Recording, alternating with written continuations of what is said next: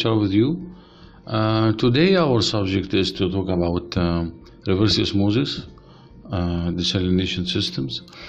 Um, uh, previously we de- demonstrated how to run your model based on um, uh, three types of uh, uh, reverse osmosis uh, processes such as um, uh, basic configuration, uh, Pelton wheel drive energy recovery device, and uh, pressure exchanger energy uh, recovery device. Uh, however, in this model, um, our focus today is on uh, uh, double pass uh, reverse osmosis process. Uh, first of all, you have to specify your destination folder. You have to specify your drive.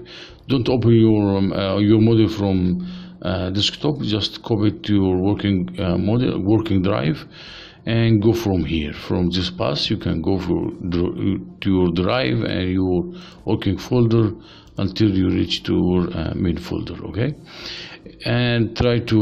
Um, uh, sort by name and group by time in order to make it easy for you and you'll find your model here your uh, figures and, and photos and something like this double clicking and as you can see here your model should appear like this osmosis with double pass the, the process is simple just we are going to as you can see this is basic module uh, reverse osmosis uh, high pressure pump feed water.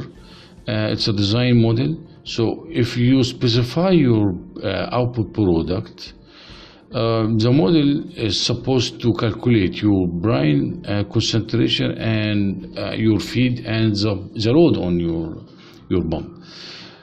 So in this model, we are going to use uh, uh, suppose it's totally per- permeate or total permeate from the, the first stage to go through the, ne- the next or the another stage for um, uh, the reverse osmosis. Supp- suppose it's a, it's um, uh, it's a photocopy from the, the first one. We are going to copy this one by dealing with the second one. But the, the exit from um, the exit permeate from the first stage is is um, is working as a main feed to the next stage. And this is your brine uh, circuit. You can collect uh, uh, brine loss from both stages and uh, accumulate your permeate um, uh, at the final stage from the final stage and the previous stage and this is your total permeate so you can use a splitter unit here uh, in order to split the, the permeate from the first stage it's up to you. You can use 10% uh, uh, uh, splitting or 100% splitting or 0%. It's up to you. But beware that uh, the total flow rate here is responsible for uh, power load on your pump and the pressure. So you have to specify just carefully. Okay, uh, that just double clicking on your uh, mother block and you will find um, your input pin. So you have to uh, assign some uh, inputs. Let's go and assign some inputs. What is your uh, ambient temperature or reference temperature? Okay, ambient temperature. As this is seawater temperature. The same temperature for both stages and uh, salinity. This salinity is uh, uh, seawater salinity. It's, it's from the beginning. Salinity of the input, because we are going to use the salinity of the permeate here um, as a feed salinity to the to the second stage. And uh, this is your final product from uh, from here. This is not total uh, uh, productivity, but this is your uh, second stage productivity. Suppose I need uh, 1,000, uh, little 1,500 uh, meter cube per day. And uh, this is your splitter ratio. Okay, what is your splitter ratio? 20%, what, whatever. It's up to your design. So suppose I am going for 50-50. Okay, 50-50 splitting. And you have to choose your um, I'm sorry, that's shrinking this. Uh, and you have to choose your uh, membrane type. Um, for the first one, this is seawater intake from well or from surface. Uh, so I, I do prefer to work on seawater 30% high recovery, uh, 380 uh, module, okay. And for the second one, maybe you can use a lower specification for this one. But suppose I am going for the same uh, in order to simplify our uh, results. And uh, pressure vessels, let's go for pressure vessels. Increasing number of pressure vessels will reduce your pressure, so will reduce your uh, uh, power. But you have to put in your consideration that the operating pressure on such types of uh, desalination processes uh, should be between uh, 40 bars up to uh, 68 or 70 80 bars no more than this. Therefore you have to change this in order to control uh, your pressure. Number of pressure number of elements uh, per vessels no more than 8 it's a standards uh, it's up to you anyway increasing um, any of these will uh, decrease the pressure and uh, uh, and the power. number of um, pressure vessels for the second one, okay, okay. I, I, think we have to reduce this one. It is for uh, 1,500. I think we have to go. But from my experience, I will begin with uh, 200 a number of pressure vessels, and for this one, I, I do prefer uh, let's begin from 8 or 10 because this is the second stage. And uh, for performance you have to specify you you have two bumps. So what is your uh, efficiency bumping efficiency? Uh, but I, I, I, truly I, I would like to change this. I you have to go here click and control M. Okay? Or you can just right click here on your motherboard and going for mask editing. Uh, yes and edit mask okay? Let's go for parameters and emphasize okay for performance bumping performance I will change from edit uh, to uh, slider. Let's go for slider here. And it's the efficiency from 0 up to 1 and efficiency it's 0.85 okay?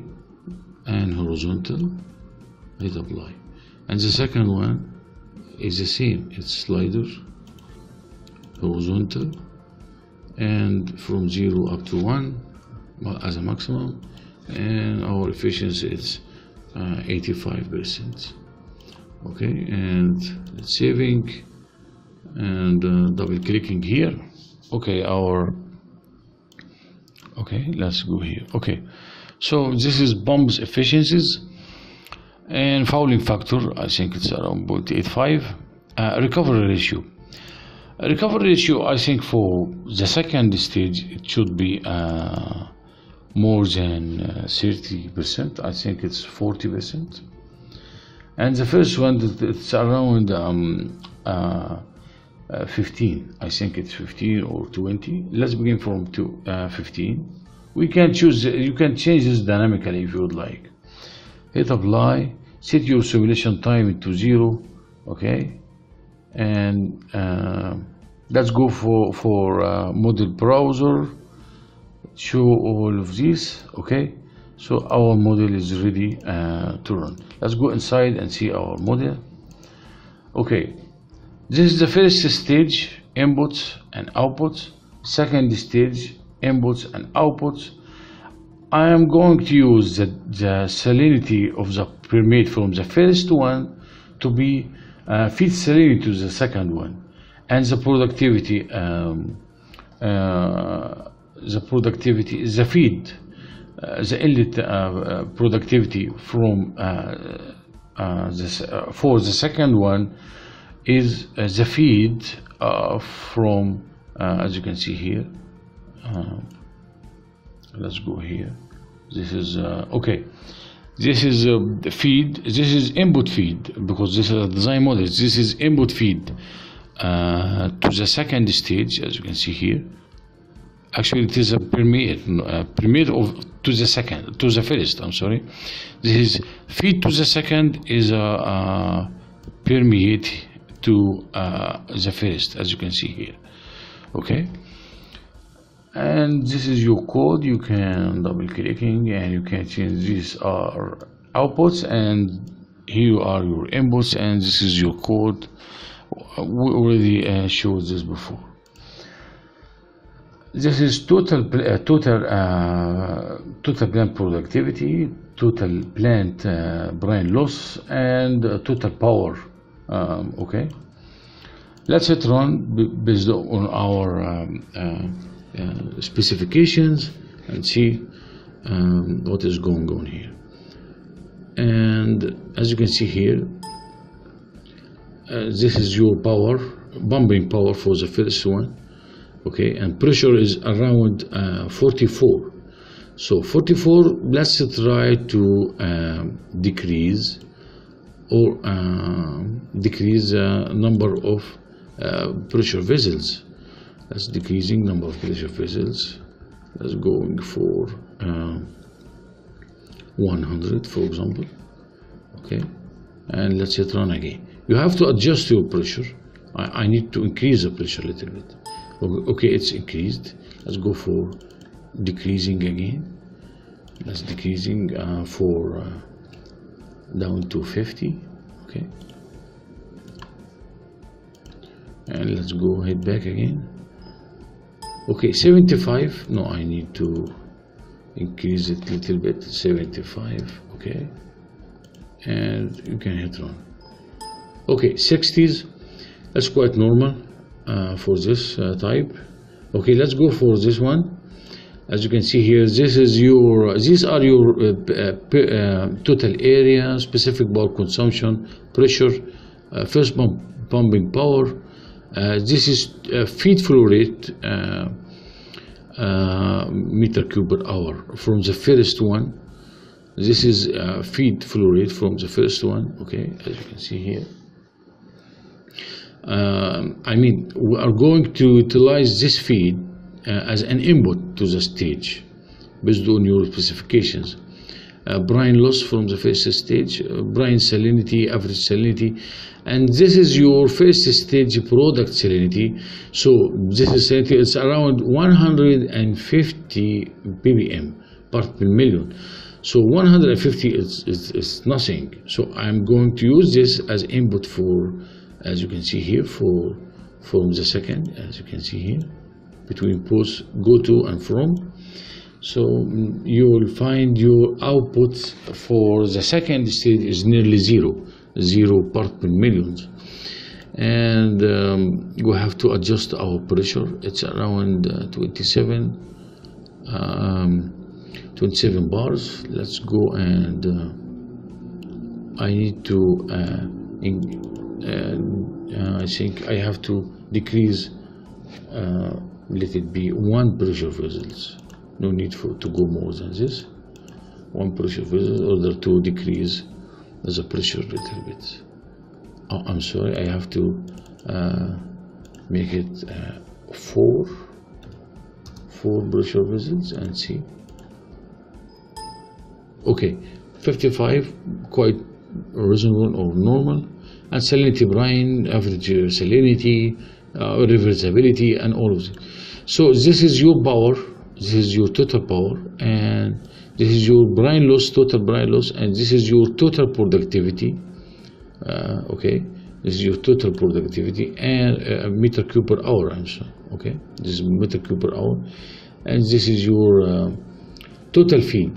This is your total feed. You are going to use this uh, total feet cubic meter per hour okay and uh, in order to discover uh, as you can see here yes this is your total feed. This is your total feed okay? And this is your splitted feed.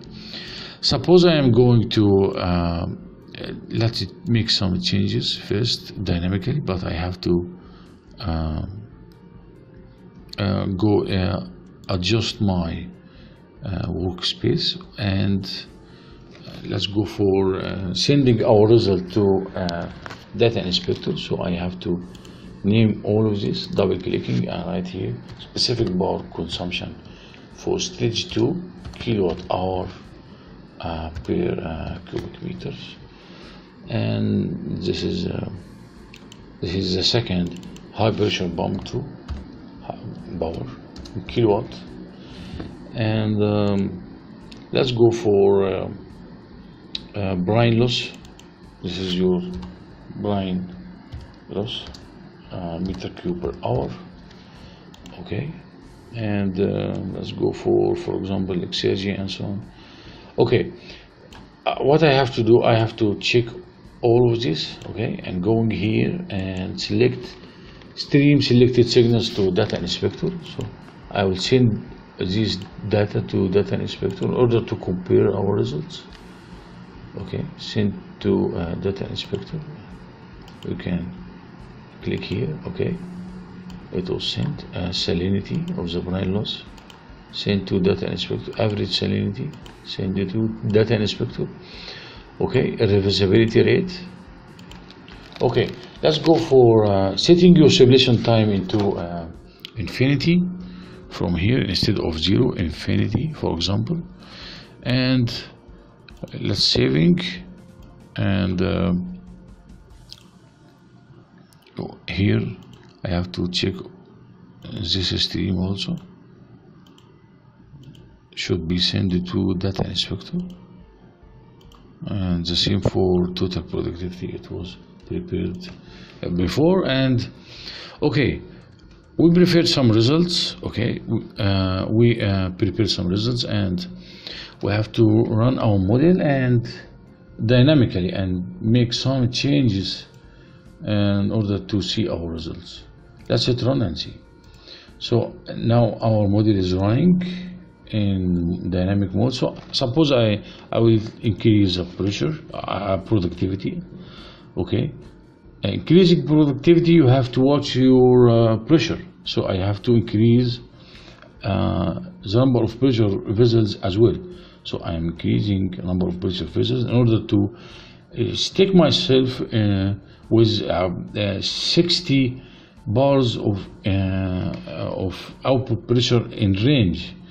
Let's go up to 5000 5000 or 10,000 uh, meter cube per day. Let's go for 10,000 meter cube per day. Okay so I have to increase number of pressure vessels here okay number of pressure vessels uh, that's increasing. It will affect on the second module of course okay? Let's go up to uh, um, to adjust okay 68 quite normal. Let's increase here number of pressure vessels in order to adjust ourselves okay? Okay let's reduce a little bit okay. Uh, what about our um, uh, splitter ratio? Let's um, increasing splitter ratio and see the effect on our results. As you can see I'm increasing pressure ratio so the full permeate is going to uh, no splitting I mean no splitting. All permeate from the first stage is responsible or is working as a feed for the the, next the next stage or second stage. Uh, that's uh, increasing uh, pressure vessels okay in order to adjust our I am adjusting here here adjusting my um, pressure.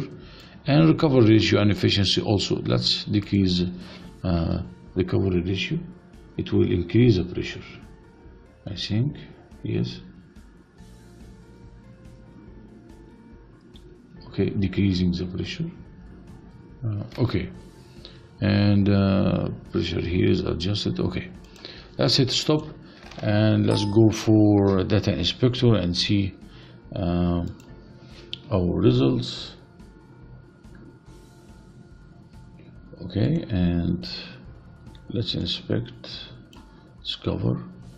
First total this is membrane area varying and uh, specific power consumption. The first specific power consumption let's compare to the second one. I'm searching for yes this is the second one. This is uh, two specific power consumptions. As, uh, let's go for first um, first stage uh, pressure and the second stage pressure. Both on the same figure as you can see here you can realize the difference. And um, the same for feed and salinity. Uh, let's go for power. Uh, let's go for power yes uh, I think this is uh, with uh, second power. I think it's um, I think it's here. Oh no, no I, I couldn't send it to let us I forget. Okay. Uh, never mind power. You can uh, brine loss this is brine from the first stage. And uh, let's go for the brine uh, brine 1 and brine 2 you can compare between both uh, feed 1 and feed 2 okay? And total blend permeate uh, total blend uh, brine loss uh, total power uh, exergy of the feed exergy of the brine average salinity and, and so on. The reversibility rate for the first one and there's reversibility rate for the second one. So you can you have many many uh, output data you can discover you can deal with and it's quite interesting. But i do prefer to use um, energy recovery device but in case of your research you you you need to discover the effect of splitting ratio. You need to discover the effect of salinity of the f- from the first stage on the second stage it's up to you. Uh, finally i would like to thank you very much for your uh, interest in our model uh, uh, double pass for reverse osmosis don't forget to uh, like uh, share and subscribe. Thank you very much